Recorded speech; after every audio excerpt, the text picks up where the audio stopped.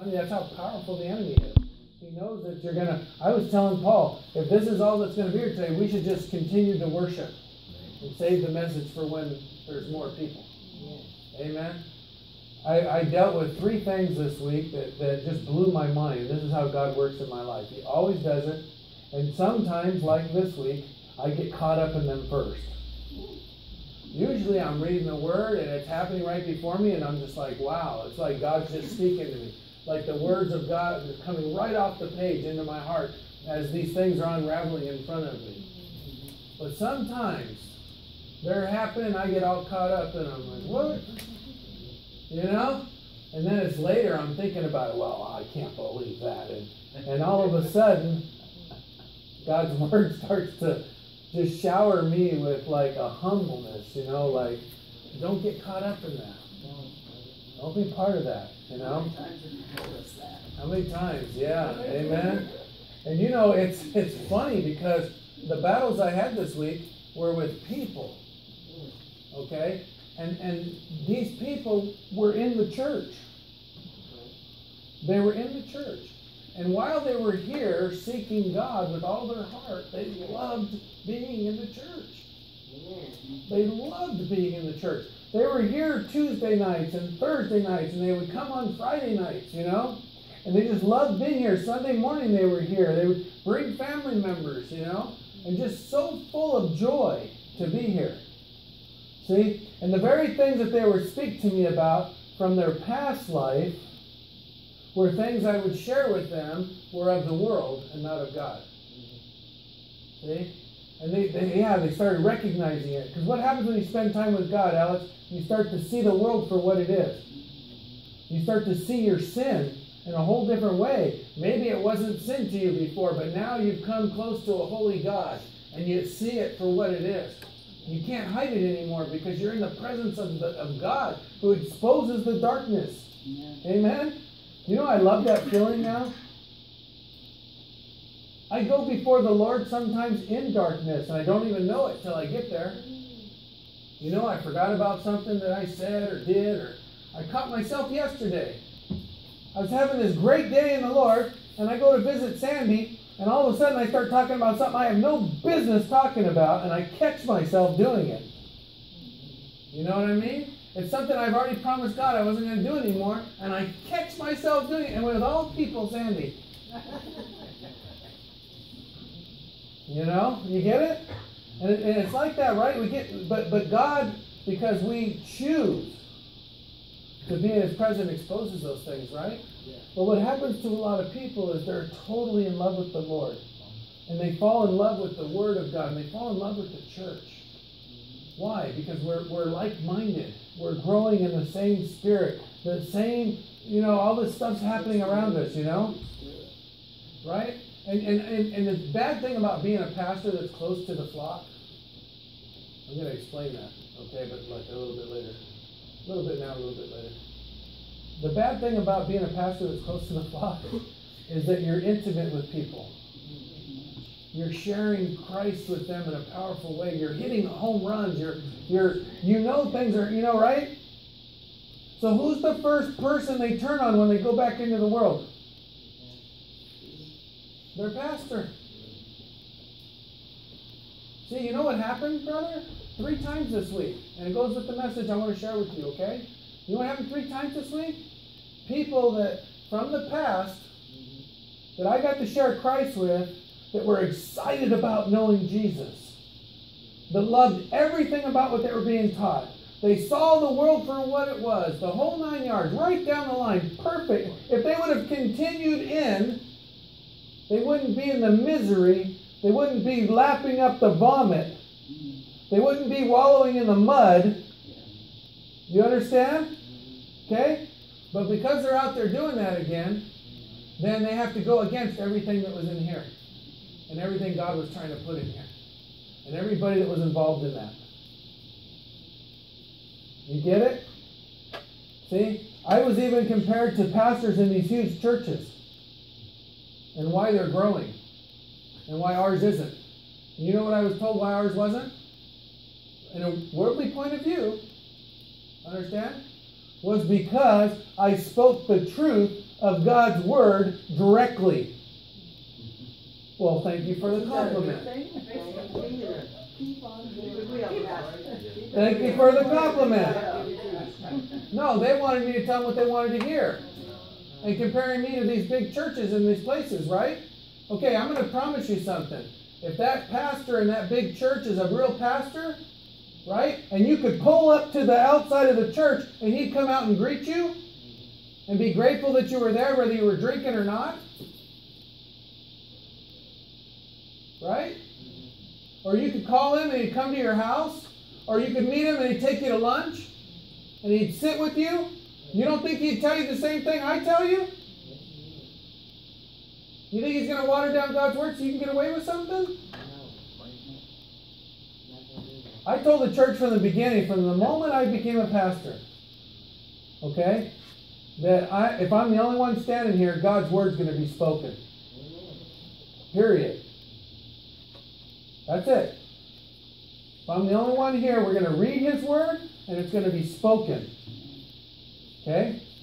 And I was in 110% agreement with these people this week that I, I ran, you know, came to visit me and, and cussed at me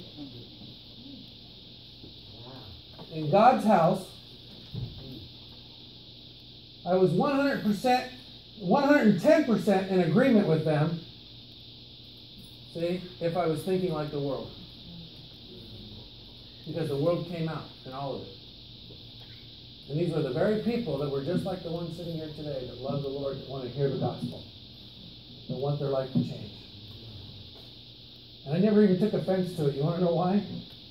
Because I was those people before. I don't think I ever cussed at the pastor, but I said some pretty bad things to him before.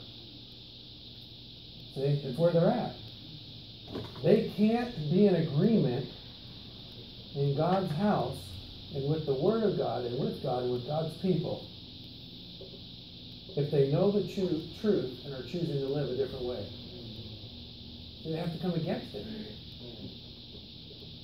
They have to come directly against it.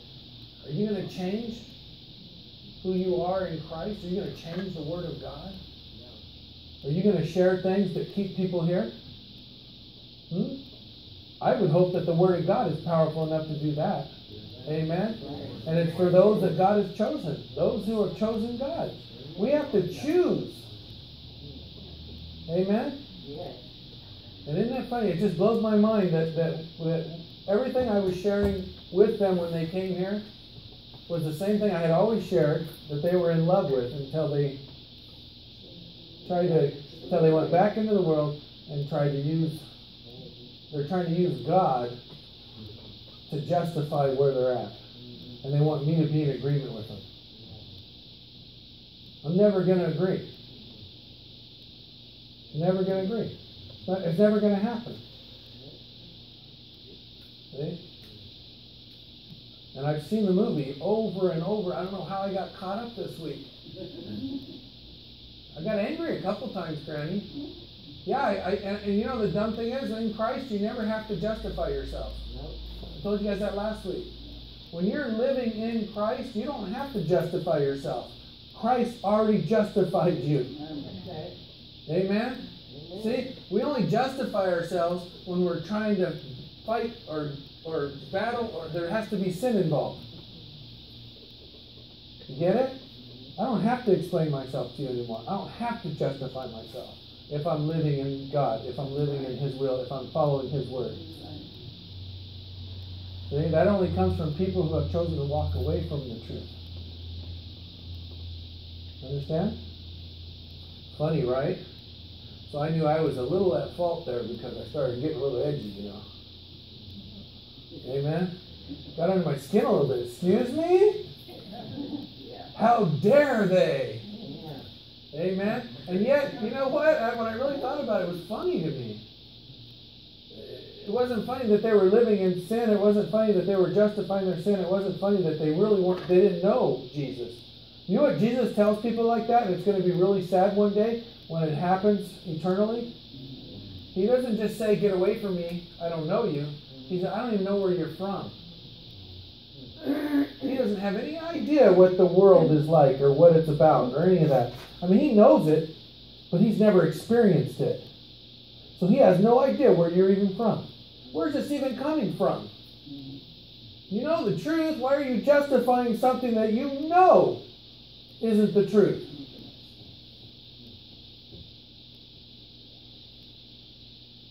One conversation, they even brought up somebody else's sin, and it was exactly what they were doing, and I confronted them about it, and they went through the roof. You're saying this, and you're I, you're doing the exact same thing. Yeah, they can't see. No, they can't see. The Bible says they have eyes, but they cannot see. Their eyes are wide open. Do you remember the apostles? You remember the apostles? Uh, uh, Peter, James, and John? They went up the hill with Jesus. And he told them, stay awake so you don't fall into temptation. They were sleeping. They were sleeping. Jesus went away to pray about a, a stone throw. Come back, they're sleeping. He wakes up, what are you doing? The time is coming. You guys stay awake. Stay. You know what would have happened to them? Let me promise you something. I'm going to promise you something. Can I? You know what would have happened to them if they were sleeping when Jesus returns the second time? You know what would happen to them? Huh? They'd have, they would have perished and went to hell. That's why Jesus said, Father, take this cup from me, take this cup from me. And when he went back and he knew they were going to be sleeping, he said, If I don't drink this cup, it can't be taken away, then your will be done and not mine. He drank the cup for them. And he gave them eternal life through his blood. Amen? And let me tell you guys something. Today, people are playing the same game. They're sleeping when they know the truth. They're sleeping. There might be somebody here today sleeping. Knows the truth, hears it every week. they might be sleeping. Time to wake up. Experience God for reals. Amen? You know what I did this week? I think it'd be a great exercise for you guys. Was I closed my eyes and I asked God to show me where I'm living in the world. Show me the things of the world in my life, Lord. You know how many people would never even think to do that, would, would be scared to do that, would have nothing to do with it? And I begged him to show me. I want to know, Lord. Show me. And as he began to show me, I began to accept it. I began to apologize. And I began to ask the blood of Jesus over those things so they don't come back. And I asked him to, to share those things with me so that I could see him more clearly. Why? So that I could take more from him for my life. So that I could have more. Amen? And as I'm doing this, I have people showing up here chewing me out. Yeah, they chose to go drink and do drugs and, and live with people they're not married to again. And point out other people doing the same kind of things. Don't get me started. Don't get me started, amen? Right, don't get me started. Right? And blame and, and, and, and, and using all the nasty things in the world to say why God's not working in our church. Excuse me? Excuse me. Like Daisy says every week, I love it, Daisy, I really do.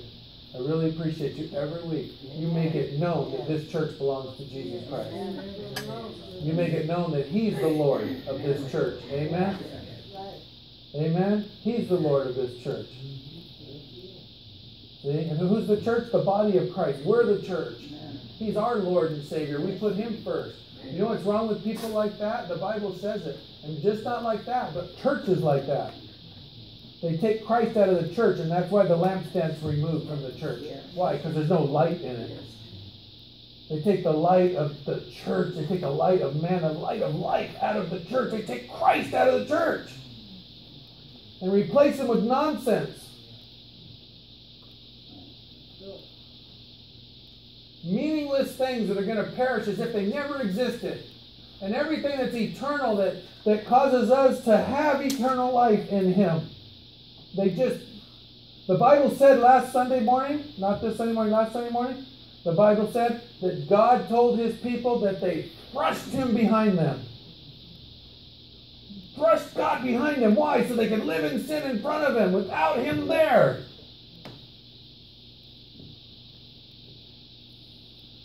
Remember, John? Bam. We're in 1 Corinthians. Now you guys got me started. Did we pray yet? Man. Actually, before you go there, go to Job 18 or 28. Father, we just want to come to you, Lord, just asking your blessing upon this day, Father. Asking your blessing upon all that you have for us, Lord. You're just an amazing God. Do not let us see.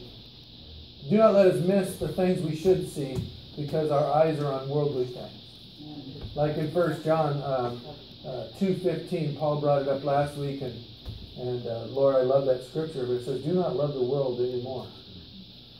See, if the love of the world is in you, the love of the Father is not in you. You can't have two masters. You'll either love the one and hate the other, or hate the one and love the other. Just, there needs to be a submissiveness to, to one or the other. You can't have both.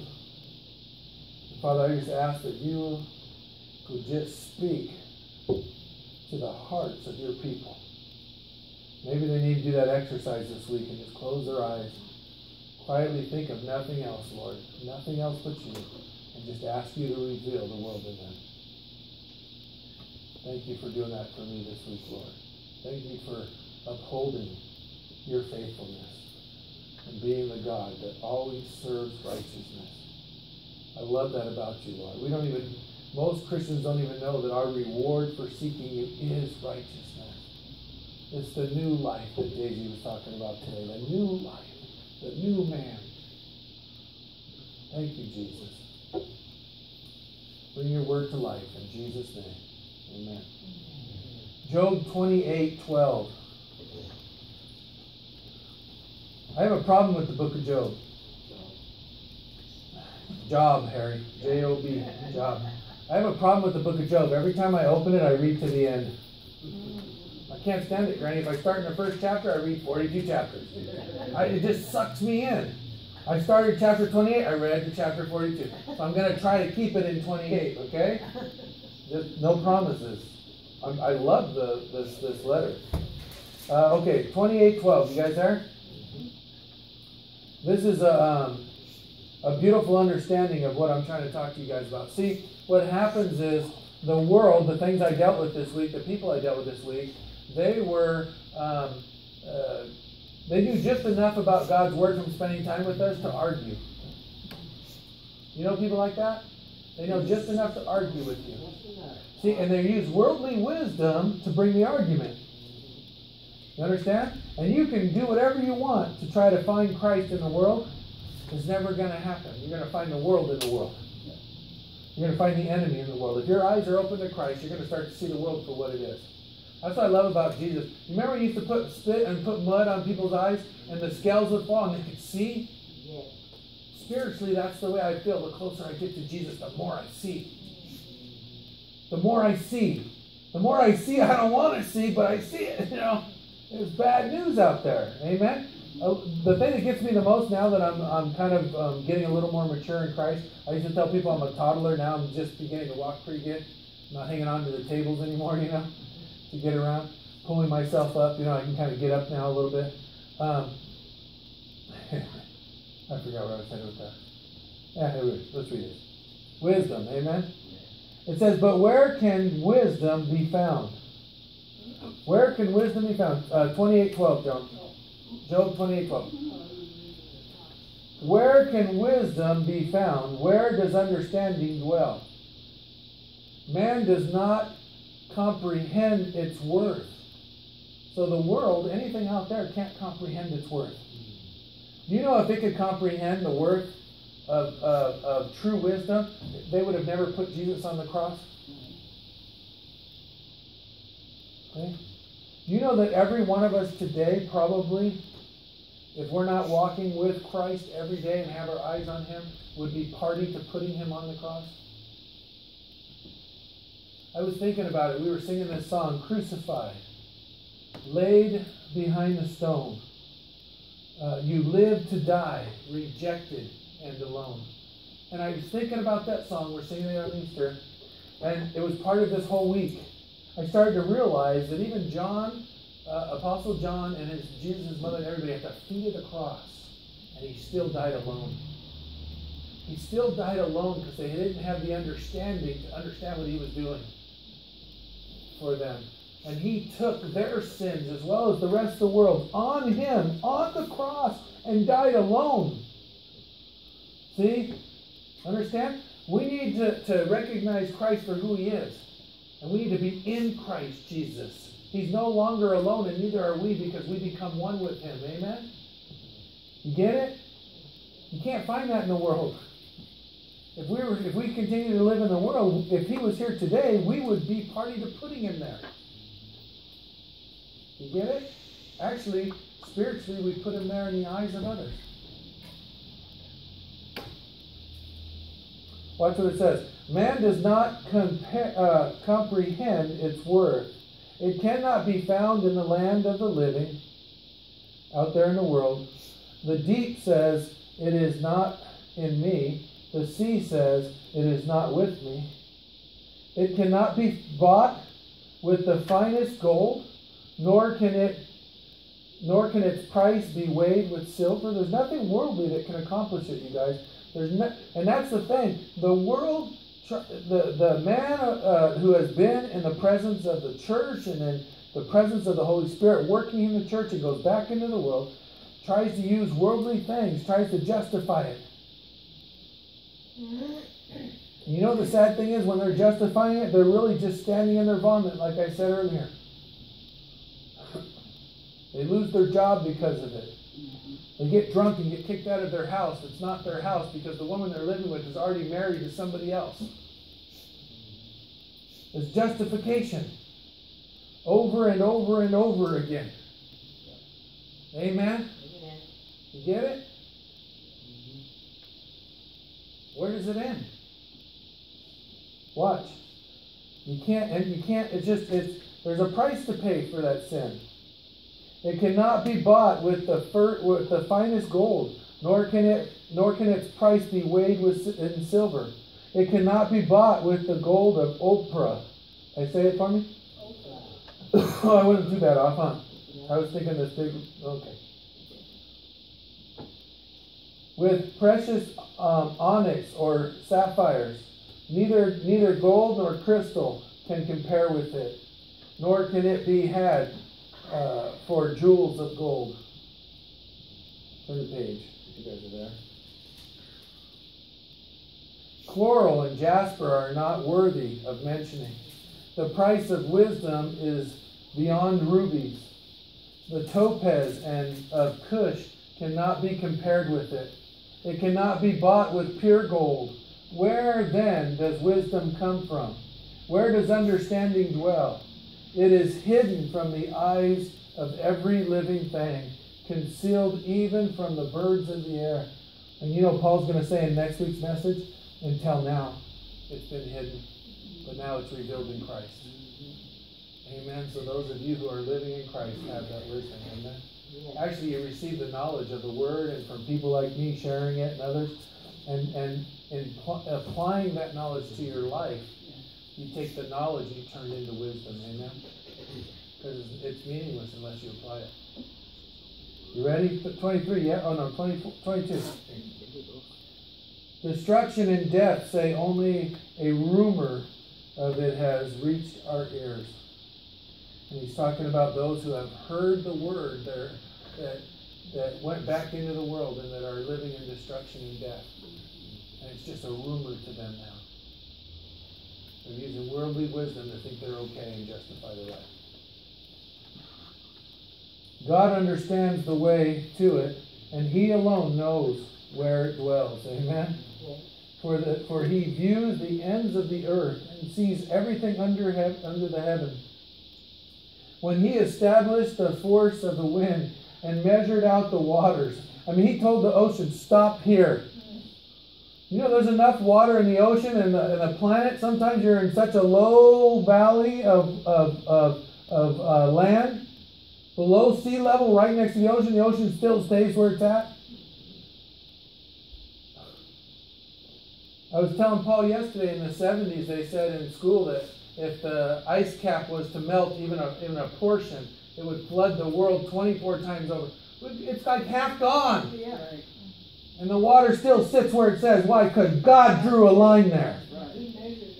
Amen?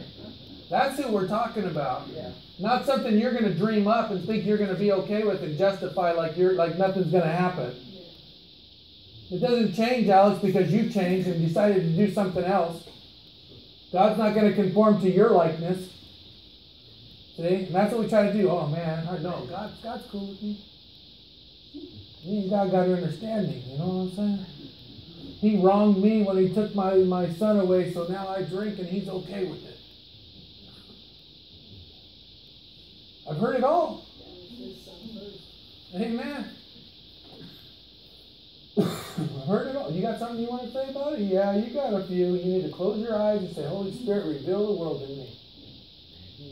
Amen? Give it to him. You ready? Watch this. Where am I?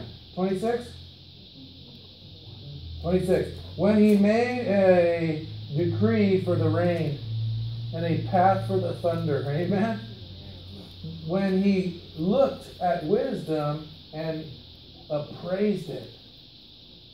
Isn't that beautiful? Isn't that beautiful? He looked at wisdom and he appraised it. He confirmed it and tested it. He made sure that everything he was and everything he did and everything he achieved was perfect. That's what that's saying. He's not going to do anything that's not righteous or right. Amen? He looked at wisdom, he confirmed it, and he and made sure it was perfect before he passed it on to us in Christ. Amen? Listen to what it says. Here we go, watch. 28 is actually the only verse I wanted to read you guys. It says, And he said to man, The fear of the Lord, that is wisdom, and, the, and to shun evil is understanding. It isn't going to live in evil and shunning the Lord and justifying evil and acting like it's okay because you uh, somehow made God understand you. That's not. Hello? You get it? I know you're there. I'm just picking on you. You got a problem with that? Amen. Amen. Go, go to 1 Corinthians where we're supposed to be. Well, let's get started. Amen. Uh, 1 Corinthians uh, 1.18. 1.18. You guys there? You guys got the gist of it now, right? So I'm going to move a little faster, okay? All right. And we actually only read that part of Job. That was good. 1 Corinthians 1.18. You guys there? Okay, first I want to back up to 117. I'm sorry, like half of 17. You see that little line? You have a little line there? Let's just read the whole verse. Okay. It says, For Christ did not send me to baptize, but to preach the gospel, not with words of human wisdom, not with words of justification. See? Not with words that God's okay with me. Not with those words. Understand? God loves you right where you're at, brother. Don't get me wrong. God loves you right where you are. Okay? But He wants to do so much with you. See? And if we're not spending time with Him, we don't know what that much is. We just keep living and living and living in the world. We keep making the same mistakes, keep lapping up the same vomit, and we wonder why God isn't doing anything to fix it. You know why He's not doing anything to fix it? You know why? Because we haven't truly given it to Him. We haven't truly trusted Him with it. We have this worldly wisdom that comes from the way we were raised, or know, that's why he says when you become an adult, put those childish things away. We think it's like rebellion and stuff. It is, but it's more the things that have been put on us. I remember as a child thinking I was going to do all kinds of great things, didn't you? I love that commercial. The guy's running from the cops, ah, he's all trashed and everything. Cops push him on the ground, handcuff him, and the, and the title says, uh, Nobody wanted to grow up to be a drug addict. That isn't what we set out with. Do you remember? Alex was going to be an astronaut or something, you know? You were going to be a firefighter. Homeboy was going to be a, a, cop, or I don't know, something that, that we used to think was a dream, you know? The world stole those dreams from us. We could have all those things and more. Amen? I never said I wanted to be a pastor, but, you know, God has a sense of humor sometimes. But the rest of this verse says, Not with words of human wisdom, lest the cross of Christ be emptied of its power. What happened when you saw the cross and you knew what he was doing? Huh? You were emptied of the things of the world, weren't you? They were exposed. That was the first time you saw that when I told you to exercise to close your eyes and ask God what, what part of you is worldly still. Do you remember that day? Everything worldly in me was exposed, and I denied it all to find Christ.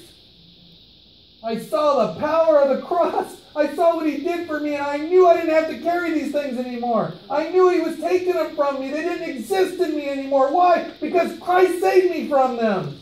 Amen. Amen? And I laid down my life and I gave it to him. We need to stay there.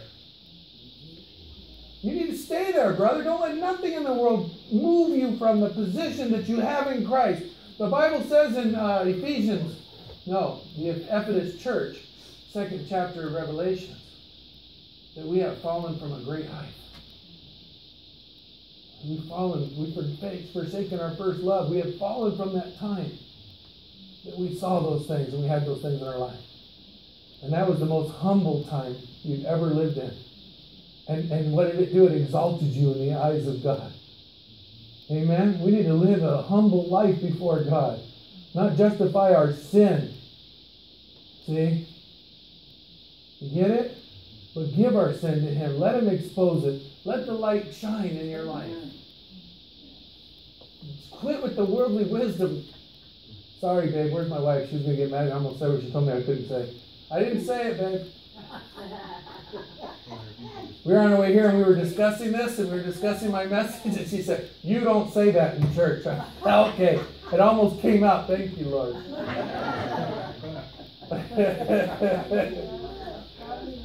A godly wife, amen. amen. 18. For the message of the cross is foolishness to those who are perishing, those who are living in the world. And, and the sad thing is, those who have spent time with us, right, they're acting like they're still okay, but they're perishing. They're justifying things and they're perishing. Their life is perishing. You can't choose to live in death most of the time and only speak about God when a real Christian comes around. Okay? You can't do it and then act like, oh, I'm a Christian. Because you're not a Christian. I told somebody that this week. They got very angry with me. See? Paul was there. Got kind of crazy. It was a good thing. I was upset about it, and Paul told me not to be because the person heard what they needed to hear. I kept telling him, one of the things I kept telling him, I'm not going to tell you what you need to hear. I'm not going to tell you what you want to hear. I'm going to tell you what you need to hear, is what I kept telling him. You're not going to get what you want coming here like this. You're going to get what you're always going to get when you come here. You're going to get the truth. Because the truth is the only that sets you free. Amen. For the message of the cross is foolishness to those who are perishing, but to us who are being saved, it is the power of God. Amen. You have to understand something too. It's not just the power to transform your life. That's amazing to me. Right? But isn't it funny how God seems to work through your life to transform the lives of others? This movie we're going to watch on the 18th, that's what it's about. This older woman who screwed up her life onto her husband's death, even.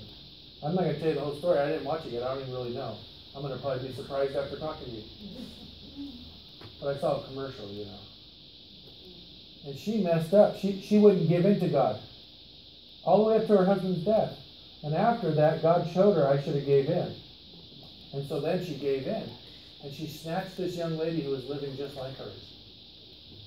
And she began to share her life with her. Yeah, she, he began, she began to share her life with her. And when the young lady finally gets it, And she says, You saved me by coming into my life. She said, No, you saved me. Because my life wasn't what I'm sharing with you until I met you because of my past. And she told the lady, Now we need to separate. We're still together. We need to separate. We need to find other women. We need to find other people. Amen? Mm-hmm. Christ is doing a great work in us, and it doesn't stay with us. See, we're supposed to share all things that He shares with us. Mm-hmm. Amen. You get the beauty of it? See, that's a godly wisdom. That's not a worldly wisdom. Mm-hmm. A worldly wisdom takes you away from God's truth. A godly uh, wisdom causes you to embrace it and want to share it with others. Amen? So let's read faster. We got five minutes, six minutes. For it is written, I will destroy the wisdom of the wise and the intelligence of the intelligent. I will frustrate. Man, I saw some frustration this week. Total frustration. Where is the wise man? Where is the scholar? Where is the philosopher of this age? Has not God made fools, foolish the wisdom of the world? Amen. And can I share something with you? this is the truth. This is where I got the idea to close my eyes. Okay? Because he's talking to the church. Look what he says right there. For since the oh no, there. Where is the philosopher of this age? Who uh, has not God made foolish the wisdom of the world? He's telling us, the church, that now we're seeing with his eyes, and we see the world for what it is. And doesn't it look foolish that we used to live there? Doesn't it look foolish that I used to act that way? Isn't it foolish that I used to speak like that? And he's telling the church, where is the ones that, that still do this? Where are they? Because if they're here today, you need to close your eyes. You need to be quiet. You need to ask the Holy Spirit to reveal it to you. Understand? I think it's an exercise we should do at least once a week. It'll cause us to see ourselves the way we are and give us a sober judgment of who we are. So when we get to Sandy's house, we're not saying stuff that we said we weren't going to say. and Sandy's just so polite taking it. I'm like, oh my God. I, I straight up apologized to her, and Paul was there. I just said, oh my gosh, what am I doing doing this talking? Anyways, must have came, must have came from Tina.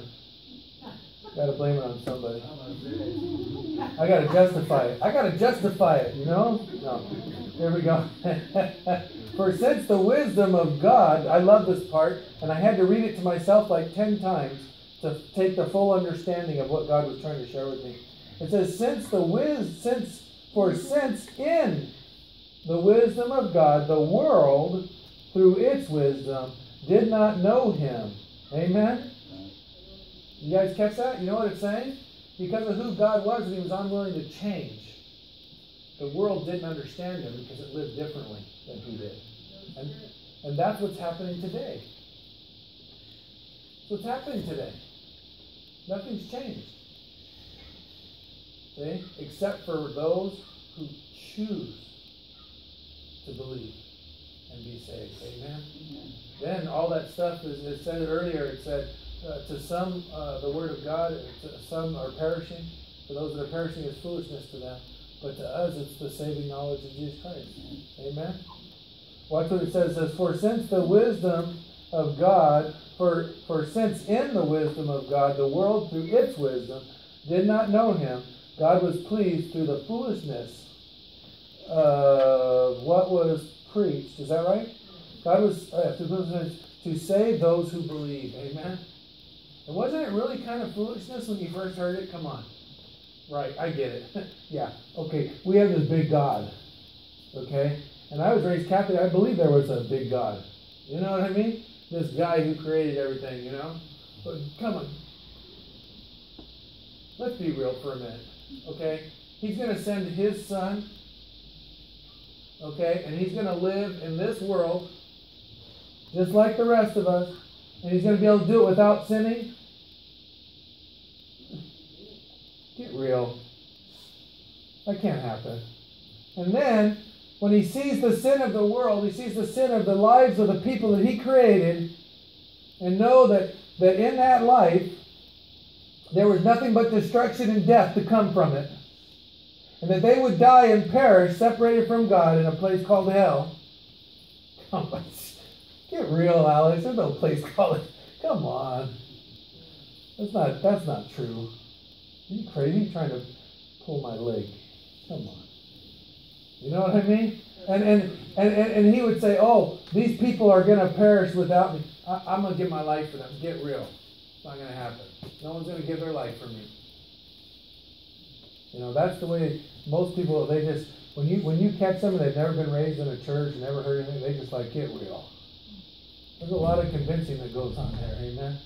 But I promise you something, there's more convincing going on with people who have heard it and have walked away from it than people who have never heard it. Because it is real. It is true. Amen? And we know it's true because of the life we now live in Him. What,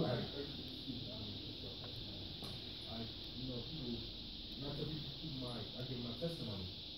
You know, they say, how am I supposed to believe? I said, you know what?